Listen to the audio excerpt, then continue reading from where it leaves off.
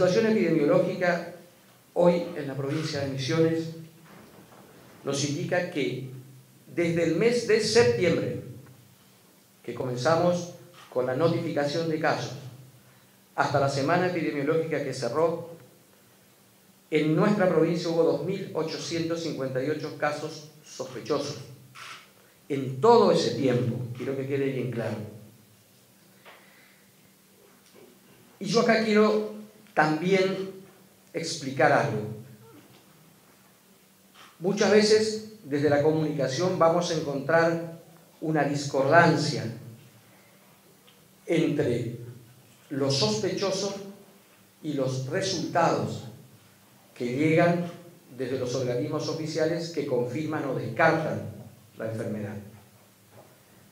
Entonces, comienza la discusión de si hay 10, si hay 20, si hay 50 y si hay 60. Claramente nosotros tuvimos un brote epidémico en Andresito en el mes de enero, el cual fue controlado y hoy se encuentra en curva de descenso. Hoy, en este tiempo, el brote epidemiológico de dengue lo tenemos focalizado en la ciudad de Oberá y zonas aledañas. Esto quiere decir y acá viene lo más importante, que no vamos a encontrar una correlación entre la cantidad de casos positivos que dan con los sintomáticos que tenemos en la ciudad. Nosotros hoy tenemos 759 casos sospechosos, que son casos de dengue en Oberá.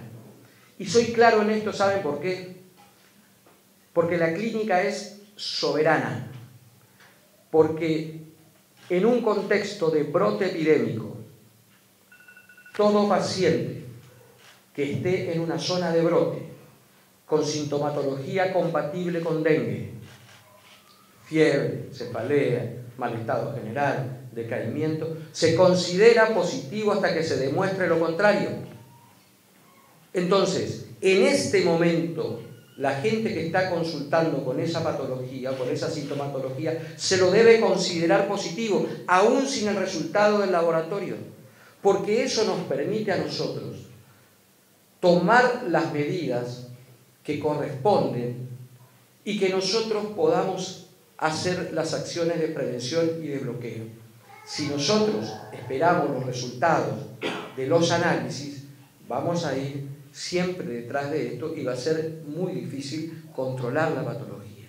Yo prefiero tener un sistema alerta que se exceda un poco en el diagnóstico, más allá de que por ahí hasta parezca políticamente complejo, pero prefiero que el sistema detecte y sensibilice y que nosotros podamos ponerlo en un diagnóstico diferencial y después lo podamos descartar, lo podamos confirmar.